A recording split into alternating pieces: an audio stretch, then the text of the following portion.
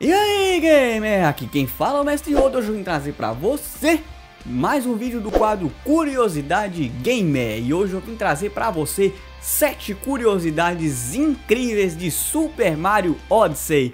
Isso mesmo, o jogo mais novo do bigodudo mais querido do mundo dos games e se você já ficou curioso e não viu ainda as curiosidades dos vídeos anteriores, o que, que, você está esperando para se inscrever no canal? Aperta Start aqui embaixo no botão inscreva-se e vem comigo!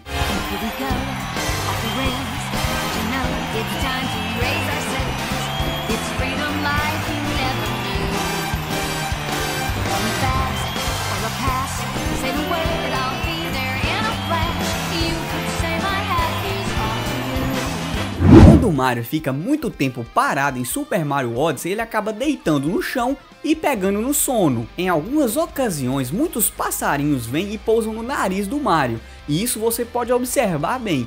Cada reino que o Mario vai é um passarinho diferente, tem até pinguim pousando no narigão do Mario.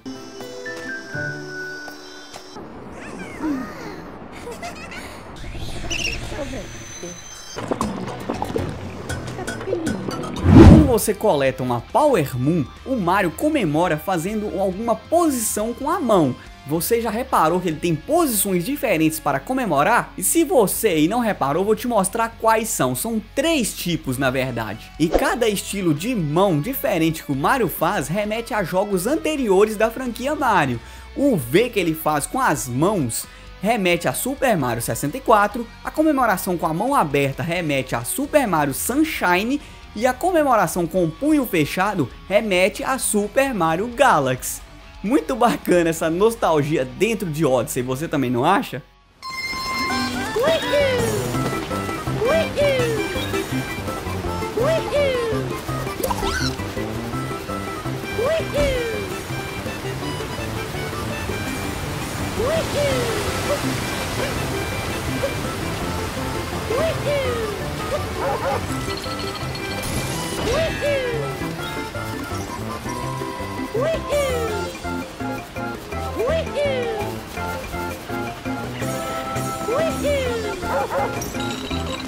Um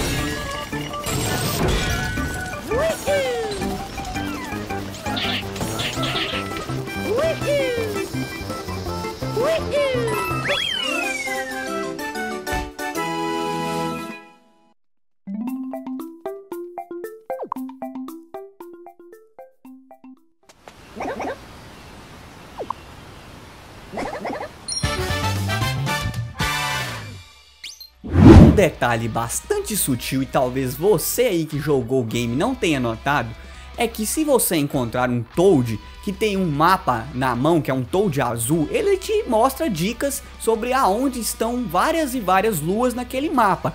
Mas você já reparou que o mapa que o Toad azul carrega na mão é na verdade a reprodução exata do Bob-omb Field de Super Mario 64 do mapa? Se você não reparou, dá uma olhada. É um absurdo de nostalgia quando eu descobri esse easter egg.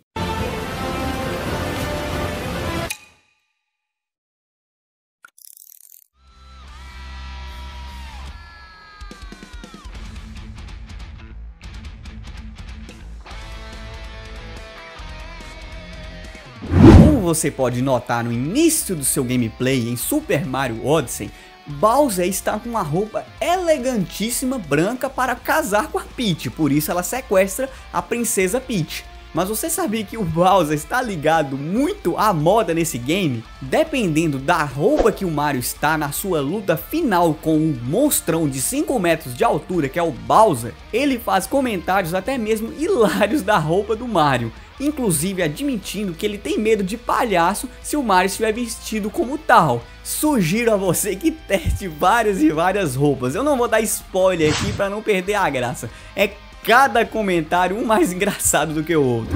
Você aí lembra daquele observatório em Super Mario Galaxy do Wii? Tinha uma música de fundo que ficava tocando nesse local? Você sabia que quando você pausa o game em Super Mario Odyssey, Essa música, quando você escolhe o menu, começa a tocar bem baixinho de fundo alguns trechos e que deixa a gente com a sensação nostálgica lá em cima. Vale muito a pena desfrutar cada instante dessa melodia maravilhosa.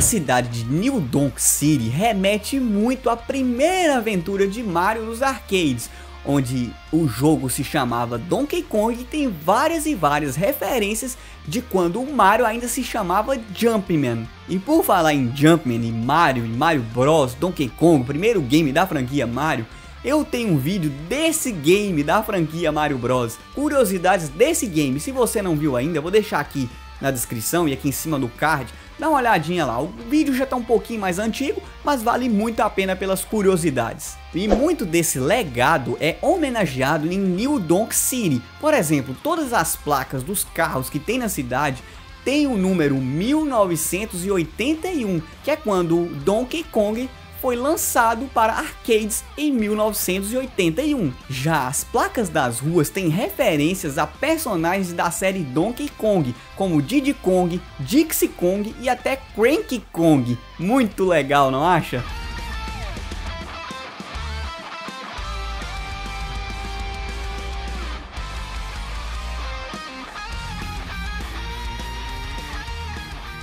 Quem jogou Donkey Kong para arcades em 1981 sabe que Jumpman virou Mario futuramente, mas ele não era um cara tão legal assim.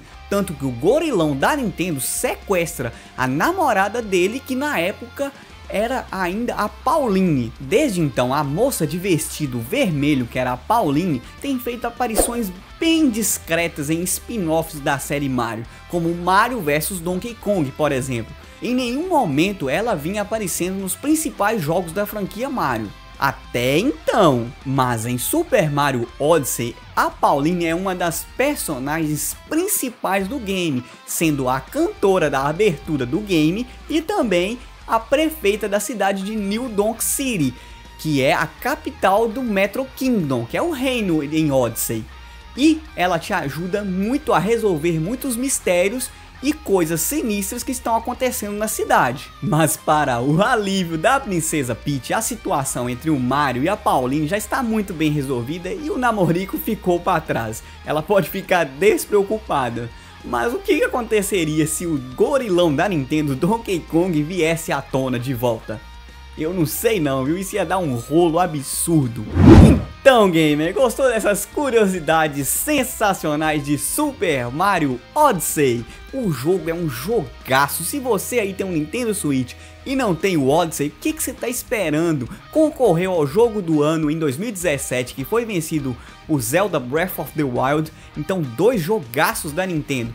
Quem não jogou, tem que jogar. Então, se você gostou desse vídeo, dá o like aí embaixo, se inscreva no canal ative o sininho para receber tudo do mundo gamer. Eu vou ficando por aqui, eu te vejo no próximo vídeo e até mais, hein?